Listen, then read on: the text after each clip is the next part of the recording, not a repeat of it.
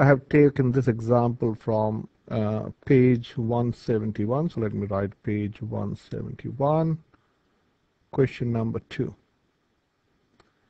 Okay, so here this is a ramp and this is a concrete ramp. So this is concrete, looks like wooden ramp.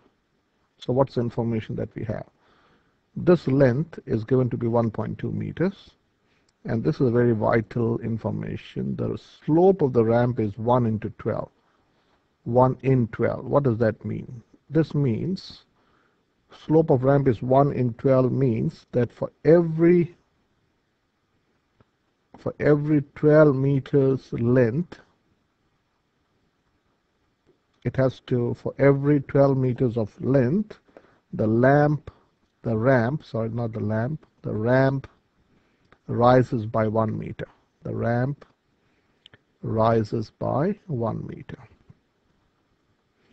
so that's what this ratio is slope of the ramp is 1 in 12 that means the height is 1 meter for every 12 meters. So if if the height is 1 meter for every 12 meters, here if the height is 0.5 meter, how much would be the length? The length would be 0.5 times 12. You can use a calculator. So this will be 0.5 times 12 or that is basically half times 12 which is 6 meters.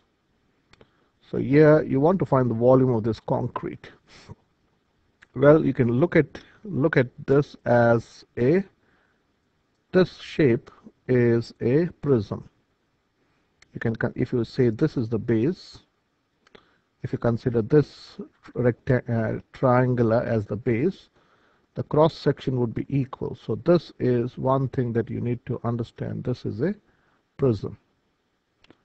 This is a prism. From this if you consider this as the base and you're going to have equal cross section and if the base the cross section of the base is equal then it's called a prism. Now volume of a prism you should know the formula volume of you can say here it's a ramp would be the base area base area times height times height. So here this 12 meters is your height and this is your area that you need to find. Now this is a triangle.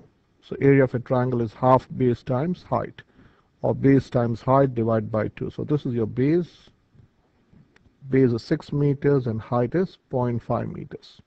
So I like to write the formula like this. Base times height which is 6 meters times 0.5 meters divided by 2. This is the area of the triangle. And then you times it by the height, which is 1.2 meters.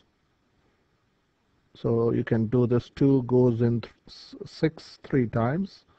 So this is basically 3 meters times 0.5 meters times 1.2 meters. So use a calculator and you will find that will be 1.2 meter cube because you got meter times meter times meter. So the volume of this concrete or the concrete used in this slab or this ramp is 1.8 meter cube.